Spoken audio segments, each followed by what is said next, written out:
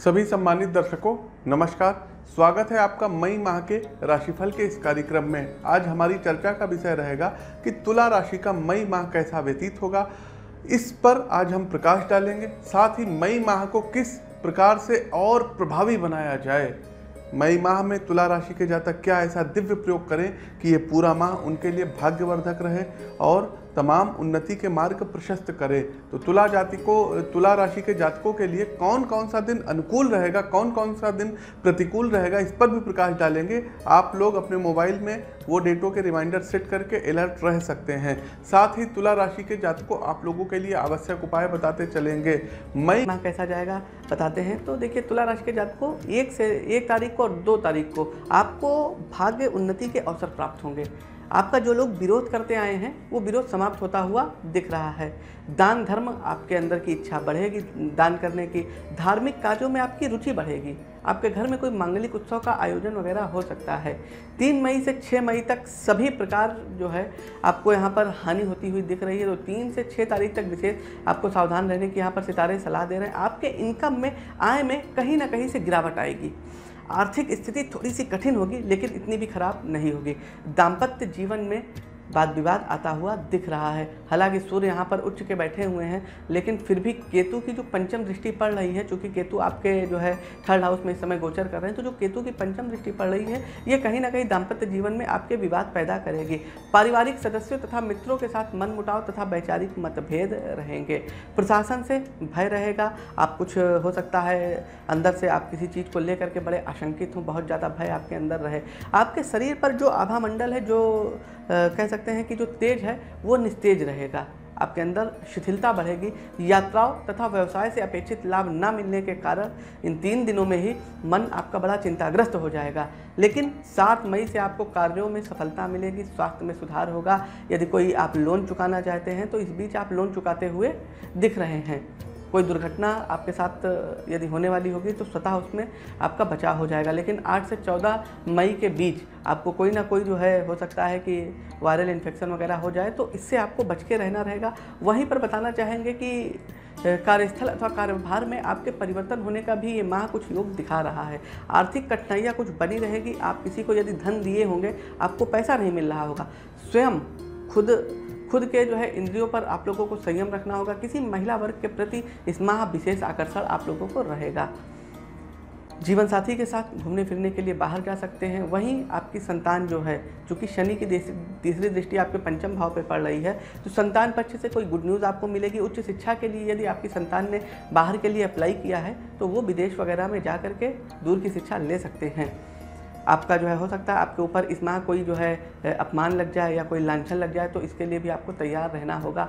विशेषकर आपको महिला वर्ग से दूरी बना करके रखनी, अन्यथा कोई हानि और अपमान आपका हो सकता है। 15 से 18 मई के मध्य परिश्रम के अनुकूल कार्यों में सफलता मिलेगी। विरोधियों पर आप अपना प्रभुत्व स्थापित करते हुए दिखेंगे। रोगों से छुटकारा मिलेगा, शासन प्रशासन का सहयोग प्राप्त होता हुआ दिख रहा है। दाम्पत्य जीवन का सुख आपको उत्तम मिलेगा इस बीच। लेकिन आपको अपने खर्चों पर नियंत्रण करने की यहाँ पर सितारे सलाह दे रहे हैं। 18 मई से मास के अंत तक संतान सुख कुछ बाधित होता हुआ दिख रहा है। संतान के दायित्वों की पूर्ति में कुछ बाधा आएगी। मन में चिंता आपकी बढ़ेगी। कार्यों में असफलता से कुछ आपका मन खिन्न रहेगा। विरोधी मुखर होंगे। आर्थिक तथा सामाजिक स्थिति खराब होगी। आपकी बुद्धि का जो मतलब चातुर्य है, बुद्धि जो आपकी है, वो बिल्कुल भी काम करना बंद कर देगी। क्या करें, क्या ना करें, इन पर बहुत ज़्यादा आप आशंकित रहेंगे। आपका खान पान बिगड़ेगा, स्वास्थ्य बिगड़ेगा। तो देखिए दर्शकों, कुछ दिन तो आपके लिए बहुत अच्छे हैं, लेकिन कुछ दिन बहुत ज़्यादा प्रतिकूल हैं। इनसे बच के रहना है। आपके लिए अनुकूल जो दिवस रहेगा इस माह, एक तारीख, पाँच तारीख, आठ तारीख, दस तारीख, बारह तारीख, इक्कीस तारीख, अट्ठाईस तारीख, ये जो दिवस रहेगा, इस दिवस में आप शुभ कार्यों को कर सकते हैं। लेकिन प्रतिकूल दिन में हम आपको बता दें, दो तारीख, तीन तारीख, चौदह तारीख, सोलह तारीख अट्ठारह तारीख, तेईस तारीख, पच्चीस तारीख, उनतीस तारीख, तीस तारीख। इन दिवस में आपको बहुत ज़्यादा अलर्ट रहने की आवश्यकता है। यदि आप चैतन्य नहीं हुए तो फिर विरोधी आप पर परस्पर हावी होंगे तो आप लोग इस डेट को रेड पेन से बिल्कुल नोट कर लीजिएगा।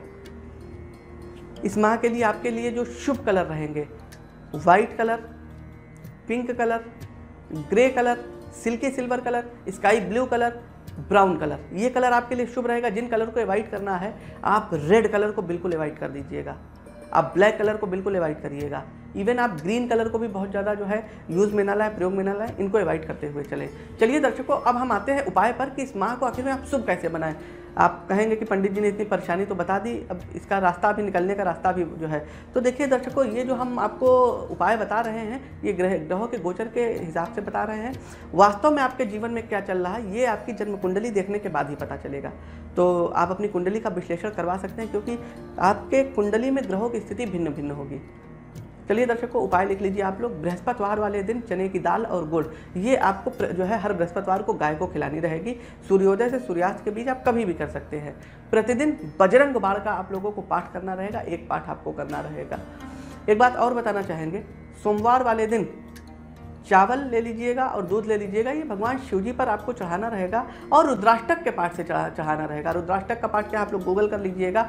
नमामि शमी श्याम निर्वाण रूपम विभुम व्यापकम ब्रह्मवेद स्वरूपम निजम निर्गुणम निर्विकल्पम निरीहम चिदाकाश उमाकाश वासम भजेहम तो ये रुद्राष्टक का पाठ है, पूरा पाठ आप लोग गूगल कर लीजिएगा।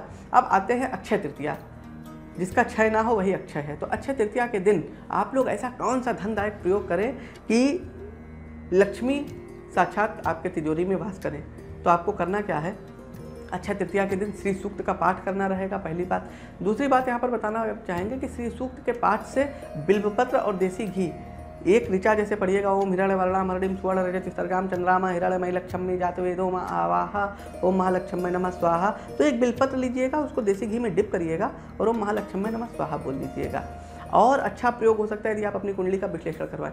दूसरा अक्षय तृतीया के दिन आपको करना क्या रहेगा? एक वाइट कपड़े में, जी हाँ सफ़ेद कपड़े में आपको करना क्या रहेगा? ग्यारह छुहाड़े, ग्यारह लौंग, सात इलायची और एक उसमें आप एक अच्छी नारियल रख दीजिएगा। इन सबको लक्ष्मी पूजन में अपने रखिएगा, पोटली बाँध के। लक्ष्मी पूजन कैसे है? तो वो भी हमारे चैनल पे है। आप लोग जा करके प्लेलिस्ट में देख सकते हैं, या आप यूट्यूब पर सर्च कर सकते हैं, लक्ष्मी पूजन बाई एस्ट्रोविद आशीष तो वो खुल के आ जाएगा। वो आप लोग ज़रूर करिए। तो इसको फिर ये जो पोटली रहेगी, इसको धन रखने के स्थान पर रखिए।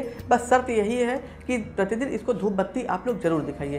तो दर्शकों, कैसा लगा हमारा ये तुला राशि का कार्यक्रम आप लोग कमेंट के माध्यम से बताइए। अभी तक यदि आप नए हैं तो उम्मीद करते हैं कि आपने इस चैनल को सब्सक्राइब कर लिया होगा। बगल में जो घंटी बनी है, बेल आइकन बना है, इसको अभी तक आप लोगों ने दबा दिया होगा। दर्शकों, हमारे